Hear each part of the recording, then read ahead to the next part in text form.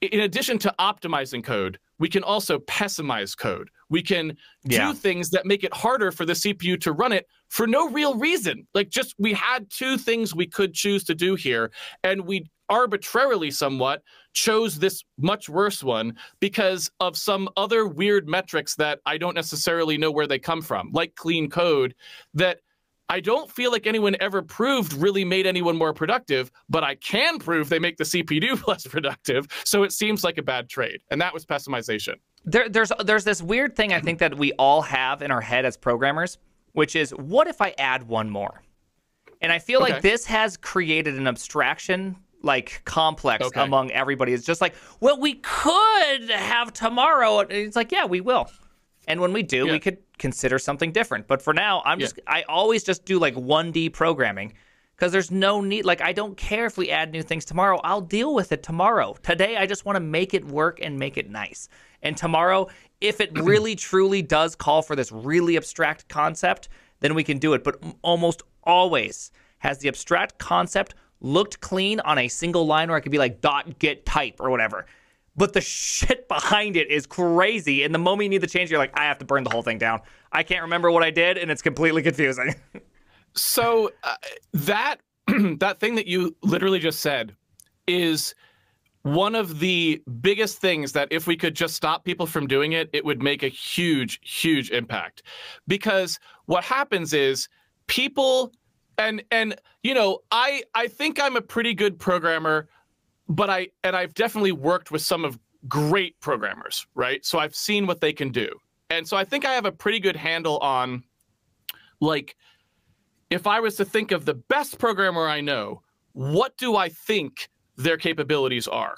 And this is this programmer is going to be like way better, way better than the average, like your John Carmacks, those yeah. kind of guys. I know we have guys. one at They're Netflix. His name is Kevin Lee. There you go. So you know that guy, you can think of who that guy is, right? And the thing is, when I think about that, I know that they, even them, don't really have the ability to think through an entire complex programming problem without actually doing the programming. They have to see all of the details before they really get it. And usually they have to do it and then they'll change some stuff after. They're like, oh, I see how that went. Now I'm going to revise what I did because there was a better way. Oh right? Oh my goodness, I love this. Keep going. See what I'm saying? yeah. You see what I'm saying though, right? You you know you it, maybe I'm missing the mark here because someone out there's thinking about the, the best programmer they know and that's not true. But like literally every best programmer I know, where I looked at that person like, holy crap, this this person's amazing. This was true of them. And so the way I think of it, and it's it's absolutely true for me, because if it's gonna be true for them, it's gonna be true for me. That's just a given. Um, but I feel it in practice, is that I can't predict the correct code structure for something I haven't done yet. So if by definition I'm choosing a particular code path because I think it does something that I want to take advantage of in the future, I almost always tell myself no because I'm wrong. Not because it wouldn't be great to be able to do that, but because you're wrong. That won't be the design that you actually want when you go to do the thing that you haven't done yet. Let's go! So, this is so good. No, this is totally true. Oh and my so goodness. what happens to me is that and I've I've I still do it today sometimes because the voice doesn't kick in. I right? know it doesn't. Um, I do it too. Oh yes. my goodness. And so every time something I do goes smoothly, it's because I remembered write the damn thing first. That just does literally what you were trying to do. And then you will see after you do that, which which only takes like a day or two. Yeah. Right? Yeah. Because you're not thinking about anything else. You're just writing this little thing that does something fairly simple. And then you will see what the correct design was for that. And you just make some modifications to put that into a nice, simple state, and then you're done. And when the time comes, because it will come and this is fine, when you decide you need to change it, you just write that one new piece and you re you move the design around a little bit to accommodate it. And it goes very smoothly because you're always working with the actual ground truth. You actually have the thing running so you know whether or not the design works because it is literally working. Predictive design uh, it, except Disaster. one in a million Yeah. fails. Uh, First off, this is great talk. I love this. I love this so much. You know, I, I get shit on the most. One of my most controversial opinions, I think, on the Twitter space and on everywhere Oh. else. I have TikToks describing why I'm stupid, calling me, oh, he thinks he's a genius.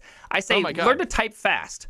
Because you know what? You're Okay, going to get yeah. way more opportunities to make a good decision because you could just simply get your idea out there. It is worth You're it so more right. than anything else in my life is just being able to type fast. And that's that. It's not a hard thing. And then, you know, you always get the people who be like, well, you know, I plan my stuff ahead. I can't. I'm not smart enough to Yeah. plan all my stuff ahead. I have to play with it because I'm like, oh, this API is going to return a JSON object. Oh, yeah. But then it's sometimes, you know, request times out. Sometimes we get bad requests for no reason. Sometimes it just doesn't respond. Like it just gives you empty and you blow up your program. Like there's like nine different ways to hell. You don't know any of them just get things out there, try it out, see what's going on, and then I go back and like take some time and redesign it. Every single time. It's been the best way to write software I've ever done. And I've tried. I, I actually was getting my master's in software engineering. If you even realize that that was a thing, it turns out it is a thing. There's a master's in software engineering, and I had to write out like sequence diagrams and UML diagrams and all of this. And we took six months to design this thing that's going to be running on a supercomputer. Day one, I go and throw up like a very simple thing, too slow for a supercomputer. Couldn't even run on it. It was so bad. And I said, okay, I'm going to break this design and I'm just going to make a bunch of public getters because this was in Java 1.5 days, I think. And I'm like, I'm just going to make a bunch of getters and we're going to drop all these functions and everything. Ran smoothly, was like a hundred times faster. And I was like, why is this? What has happened here? And then that's when I realized you can plan all you want. You're just wrong. you just built the wrong thing, is all it is. I mean, everything you just said is just it's just the truth. Like Yeah. typing fast, yes. Like I mean, you, maybe you don't have to type fast. Maybe you can get the AI to do it for you or something. but whatever it is, the experimentation, the trying the actual thing is is the only way you can actually get all the details out. It's too big for Yeah. a human brain. That's why we use the computer to do it, right? Yeah.